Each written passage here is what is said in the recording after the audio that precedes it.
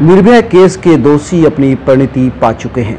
मेरे साथ बात करने के लिए हैं दोषियों के वकील है doctor A P Singh. Doctor साहब आपके वकील अपने क्रिएटर से मिलने को जा चुके हैं। जी। इस पूरे घटनाक्रम पे पहली टिप्पणी क्या कहेंगे? हाँ, मुवक्किल अपने क्रिएटर से मिलने जा चुके हैं। क्रिएटर से मिलने सब जाएँगे। इस केस में अच्छा करने भी जा, वाले भी जाएँगे। बुरा करने वाले भी जाएँगे, सत्य के साथ जाने वाले भी जाएँगे, झूठ का सहारा लेने वाले भी जाएँगे तो ऊपर तो निर्भया भी है। और ये दोषी भी वही बिल्कुल सही ये सही बात है सबको जाना हमें भी आपको पहुँची थी वहाँ। तो शायद उनकी आँखें झुकी रहेंगी निर्भय को देखकर उनकी आँखें झुकी रहेंगी। शर्मिंदा रहेंगी अपने करे पे पछता रहे होंगे मानते शर्मिंदा रहेंगे या पता नहीं कौन शर्मिंदा रहेंगे ऊपर चलेंगे तो आपको नहीं पता। आपको नहीं पता कौन सा- अपने लोग भी चलेंगे तब उनसे बात करेंगे चल के सब बैठे तो वहीं होंगे ना वहीं बात करेंगे सबसे आपकी आईडी भी ले चलेंगे कैमरा भी ले चलेंगे उनका ऊपर भी इंटरव्यू करेंगे क्यों करते हो आप? आप तो इंटरनेशनल रिपोर्टर हो आप तो फिर वही बात आपने शुरू कर दी। मैं मैं जानना चाहता हूँ कि परिणति से पहले दोषी काफ़ी दुखी रहे रोए और माफ़ी भी मांगी। यानी उन्हें अपने क्रिय पे पछतावा रहा। माफ़ी किए कि नहीं मांगी? उन्होंने जेल प्रशासन से कहा होगा ज़रूर कि तुम्हारे साथ तो हमने सब कुछ अच्छा किया फिर तुमने हमारी गलत रिपोर्टिंग क्यों की? जेल प्रशासन तक को इतना अधिकार है कि अगर वो चाह जाए चाह जाए तो सिस्टम से लड़ जाए, सरकार से लड़ जाए और सही रिपोर्टिंग कर दे तो फांसी की सज़ा को कम कर सकता है। विनय रोया भी और अंतिम क्षण में चाह रहा था आपसे मुलाकात भी करना वो चाहता था कि वो वकील से मिला दे आपको। तो कहीं ना कहीं ये एक उनकी स्वकृति थी कि उन्होंने गलत किया और वो जो है दोषी कानून के नज़र में जो आए हैं, जिसकी वजह से उनको सज़ा मिली है तो कहीं ना कहीं अंतिम समय उनको ये महसूस हुआ। नहीं, वो अब जो मैंने उनके लिए वकालत की, इसके लिए वो सब श्रेय कहना चाहते थे। उनका ये ज़रूर भाव रहा कि मैं इस जन्म में तो आपका कर्ज नहीं उतार पाऊँगा। क्योंकि उन्हें पता लग गया था कि अब छूटना भी बहुत किस्मत की दूर की बात है और बचना भी बहुत किस्मत की दूर जब ये चौदह चौदह दिन का सिलसिला चला, वो हमारे आधार पर चला। सिस्टम पहले दिन फांसी दे रहा था। 16 दिसंबर को फांसी दे रहे थे, फिर उनतीस दिसंबर को फांसी की तैयारी कर ली थी। फिर उसका डेथ वारंट इशू किए तब टालते रहे करते रहे करते। तो वो इस बात के धन्यवाद ज्ञापन देना चाहते थे कि इस जन्म में तो, तो आपका सर कब्जा कर्जा नहीं उतार पाए। लेकिन अगले जन्म में मैं आऊँगा अगर मुझे बुला लेना आप तो मैं ज़रूर कर्जा उतारूँगा। रात भर आप हाई कोर्ट सुप्रीम कोर्ट लगे रहे। आपको भी पता था कि होना कुछ नहीं। फिर इतना लंबा खींचने की ज़रूरत की थी। फिर सवाल वही कि आप इस केस को इतना लंबा खींच के क्यों लेके गए? मैं ऊपर उस क्रिएटर को बताना चाहता था कि जब ये क्रिएटर से मिलेंगे आज मिल रहे होंगे, आज वहाँ मीटिंग चल रही होगी, तगड़ी मीटिंग होगी आज वहाँ तो जब मीटिंग में चर्चा होगी डॉक्टर ए पी सिंह की वकालत की चर्चा होगी, जो वहाँ के ऊपर के लॉ मिनिस्टर होंगे, जब वो हमारा पक्ष रख रहे होंगे वहाँ तो वो कहेंगे हमारे वकालत के पेशे का, कानून का दिग्गज। उसने देखिए, रात में सुप्रीम कोर्ट में भी पूरी कोर्ट को देखिए देश की सबसे बड़ी अदालत है। और उसमें कोर्ट की प्रोसीडिंग करवा देना पूरे सिस्टम जेल सॉलिसिटर जनरल सारा सिस्टम चलने लगना रात के दो बजे तीन बजे दिल्ली हाई कोर्ट में दस बजे ग्यारह बजे बारह बजे एक बजे तीन तीन घंटे की बहस होना ये सारा प्रोसेस होना खुद में एक बड़ी बात है और न्याय की लड़ाई के लिए ज़रूरी है। जानते देखिए कई बार पता होता परिणाम क्या होंगे? यानी तो क्या आपको दबाव परिणाम पता था आप ऊपर की कोर्ट को दिखाने के लिए यानी दिखाने के लिए दिखाने के लिए नहीं थे। क्लाइंट को कोर्ट को नहीं क्रिएटर जो अंदर आत्मा है उसको कोई नहीं मारता। है देखिए मनोज जी आत्मा अजर है अमर है ना कोई उसे जला सकता है ना कोई उसे भिगो सकता है ना कोई उसे उड़ा सकता है ना कोई उसे बहा सकता है और ना कोई उसे गंदा कर सकता है। और उसका तासीर भी नहीं बदला जा सकता सबसे बड़ी बात है। को मार सकते हैं आप पापी को मार सकते हैं पाप को कभी नहीं कोई मार पाया है। पापी को मारना आपके हाथ में जुडिशियल किलिंग कर सकते हैं, दबाव में कर सकते हैं इनकाउंटर कर सकते हैं, पुलिस इनकाउंटर कर सकते हैं, फांसी दे सकते हैं, मार सकते हैं, आग लगा सकते हैं आत्महत्या दिखा सकते हैं, सब कुछ दिखा सकते हैं। लेकिन आत्मा को कोई आत्मा अजर है, अमर है, अविनाशी है। तो जो अंदर आत्मा अजर अमर अविनाशी है तो उसको भी संतुष्ट करने के लिए सारी कार्रवाई पूरी करनी चाहिए। ये जानते हुए भी हमारे खिलाफ चारों स्तंभ हैं। मज़बूत चारों स्तंभ हमारे खिलाफ हैं। किसी के खिलाफ क्यों हो? आप लगातार आपसे फिर रात वही पूछा गया कि आपके पास कुछ नया हो फैक्चुअल हो तो आप लाइए। पुराने वरना कोर्ट का समझ आया करने से का क्या फ़ायदा? वकील साहब कल भी कोर्ट ने वो पुराना तो कोई सुन के समझ नहीं पा रहा है। जब स्कूल सर्टिफिकेट पवन के जुवेनाइल के हैं सही माने गए। दिल्ली पुलिस ने वेरीफाई उनको तो जवाब दे नहीं पा रहे। राम सिंह की हत्या का सवाल तो सुलझा नहीं पा रहे। रिजेक्ट हो चुका है हर स्टेज पर। तो कोई बात नहीं रिजेक्ट हो चुका है। फिर आगे जब कोई समय आएगा मनोज जी एक बार समय ऐसा आएगा जब इस केस की सीबीआई इंक्वायरी होगी। अब क्या समय आएगा डॉक्टर साहब? क्या बात आप फाइनल हो चुका है। गांधी की हत्या का भी लगा था ना केस कि गोडसे ने नहीं मारा गांधी को किसने मारा? ये सारा कुछ हुआ था और उसके बावजूद भी आपको पता है समय परिस्थितियाँ कब किसके अनुकूल चली जाएँ कब किसकी फांसी की सजा के लिए गलत कहा जाने लगे कब किसको किसकी सजा के बारे में सजा होने लगे ये कुछ पता नहीं अजय वकील के रूप में आप लड़े ठीक है एक्टिव रहे लेकिन कंक्लूजन के रूप में आप देखते तो होंगे कि कानून अपनी जगह सही है। उन लोगों ने जैसा किया तो उनकी कर्मों की सजा उनको मिली है। नहीं कर्मों की सजा क्या किया एक वकील के रूप को अगर अलग हटा के देखे एक व्यक्ति के रूप में एक पिता के रूप में एक पति के रूप में एक भाई के रूप में एक पुरुष के रूप में कैसे देखते हैं? अब आप एक एडवोकेट के रूप में इंटरव्यू ले रहे हैं तो तो मैं उस तरह से कहूँगा अब खाली आप डॉक्टर ए पी सिंह का ले रहे हैं तो कर्मों की सजा तो सबको मिलती है इस दुनिया में। कर्मण्यवाधिकारस्ते माँ फलेशु कदाचना। कहा गया है एक इंसान के। रूप में पूछ रहा हूँ। हाँ इंसान के रूप में तो कर्मों की खेती है जगती जैसी जिसने बोई देवों का भी एक फल नियंता और है कोई। कर्मों की खेती तो है जैसे। ये मानते हैं ना जो हुआ उनके कर्मों का फल था। कर्म ज़रूर रहा होगा अवश्य रहा होगा। इतनी कम उम्र में सोचिए ना आप इतनी कम उम्र के बच्चों को फांसी दे दीजिए ना। अकाल मृत्यु है। एक नेचुरल मृत्यु अलग होती है नेचुरल डेथ अलग होती है। अकाल मृत्यु होना एक साथ एक जगह पर एक दिन एक समय पर एक जगह। चार लोगों की अकाल मृत्यु। कहीं ना कहीं कर्मों का तो रहा होगा विधान ये तो मानते हैं इसमें यानी ठीक उनको न्यायपालिका के जो सभी स्टेट है। नहीं न्यायपालिका नहीं, कार्यपालिका विधायिका और वो संविधान फिर वो राजनीति से हट के, वकालत से हट के अगर बात करें, वो साहब, मैं उसकी बात कर रहा हूँ। और- काम निष्पक्षता से नहीं करता कर्म अलग चीज़ है लेकिन कार्यपालिका न्यायपालिका विधायिका में ये चीज़ अलग है। चार मज़बूत स्तंभ है।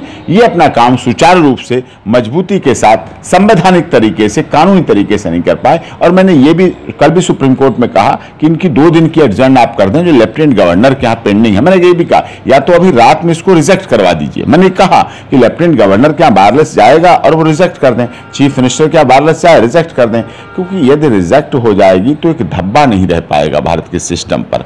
अब क्या हुआ? फांसी हो गई। पिटीशन 432 433 सीआरपीसी की वहाँ पेंडिंग है। अक्षय की वाइफ की पिटीशन पेंडिंग है।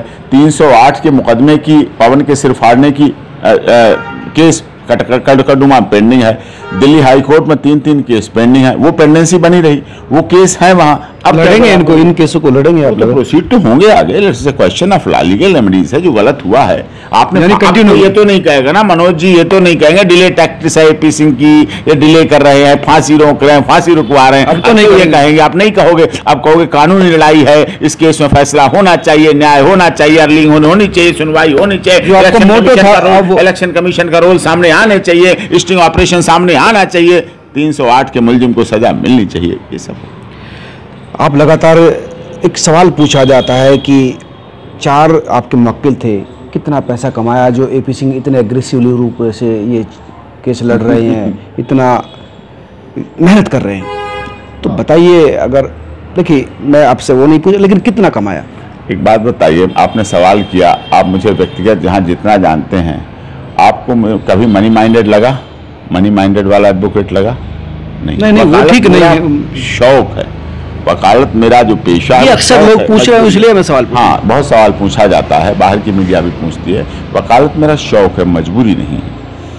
और पैसे के लिए मेरे माता पिता ने जब मैं वकील बना तभी उन्होंने देखिए मैं सुप्रीम कोर्ट का लाइफ टाइम मेंबर हूँ परमानेंट मेंबर हूँ फैमिली में और भी एडवोकेट है। और सबने इस बात को जब मैं वकील बना वेरी फ़र्स्ट तो मेरे माता पिता ने साफ़ तौर पर कहा था कि तुम्हें जो क्लाइंट पैसे दे खूब लेना उससे और मांगना ऑफ़िस में लेना कोर्ट के बाहर लेना निकलते हुए कोर्ट से लेना लेकिन जब उसके केस की आप पैरवी कर रहे हो कोर्ट में खड़े हों उसके लिए सबूत तथ्य दलील दे रहे हो तब ये मत सोचना कि इसका पैसा अभी आना बाकी रह गया है। तब ये पैसे- पैसे- पैसे नहीं बताएँगे। तब ये तब ये पैसे तो लिए ही होंगे जीवन दे पैसे तो लिए ही होंगे ना खैर। हाँ पैसे तो लेना चाहिए भी। अच्छा इस केस फाइनल हो चुका है अब और उसके बाद परिवार की प्रतिक्रिया क्या है? खासकर महिलाओं की प्रतिक्रिया क्या है?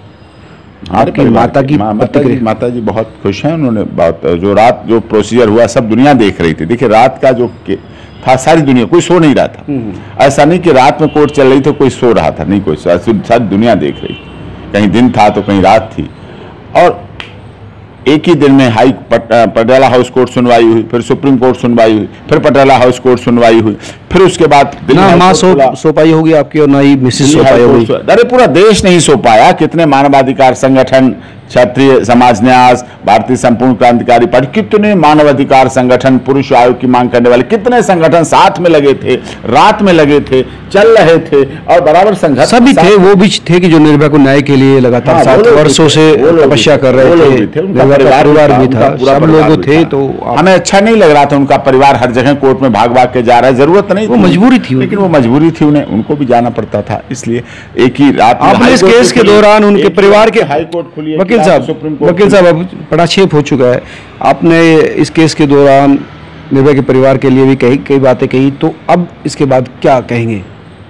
मैंने क्या कहा निर्भया के परिवार के लिए? कभी आप तो फंडिंग पर सवाल उठाते हैं तो अभी है वो तो दुनिया उठा रही है सोशल मीडिया भरी पड़ी है।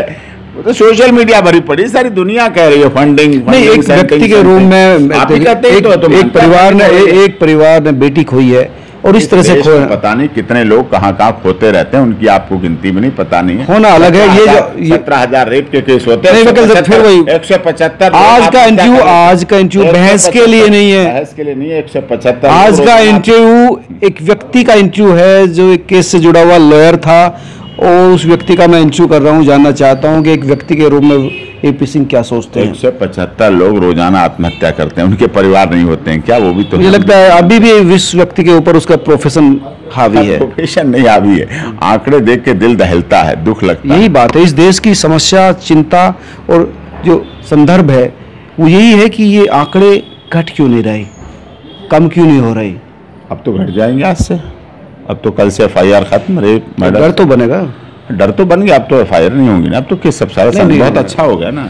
हर आदमी चाहता है कि उसकी बेटी सुरक्षित रहे।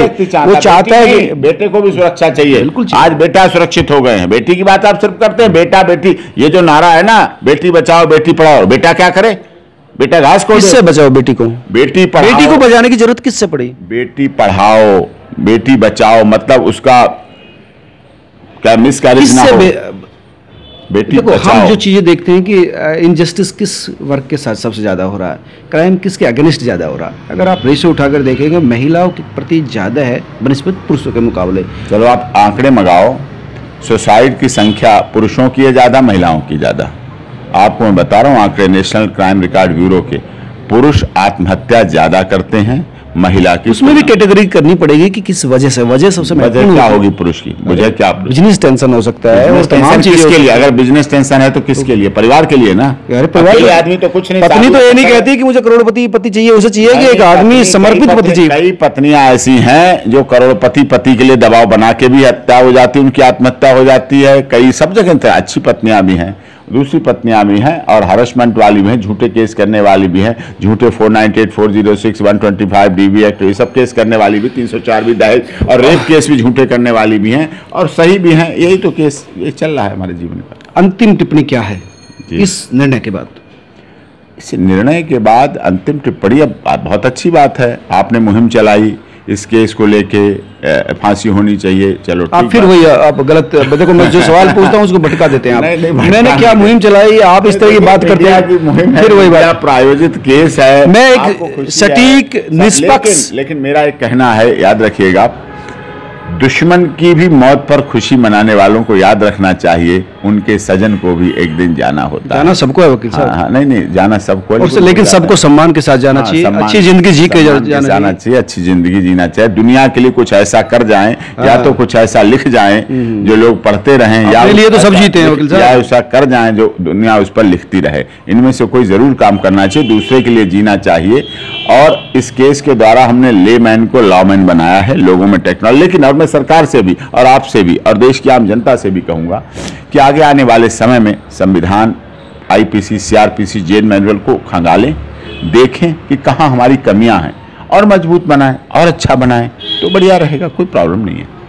ये थे डॉक्टर एपी सिंह, जिन्होंने अंतिम पल में जो तीन बातें कही, वो सबसे महत्वपूर्ण है कि एक तो परिणति जो मिली, कहीं ना कहीं कर्मों का असर है। दूसरी बात है कि लो प्रति लोगों को समझना चाहिए, अपनी चेतना बढ़ानी चाहिए, क्या अधिकार है, क्या कमी है हमारे कानून में, वो सब इस केस से सामने आई है। तो उसके प्रति भी सरकार की संवैधानिक संस्थाओं की ज़िम्मेदारी है कि उसको ठीक करे ताकि न्याय जल्दी मिले। दिल्ली से मनोज शर्मा।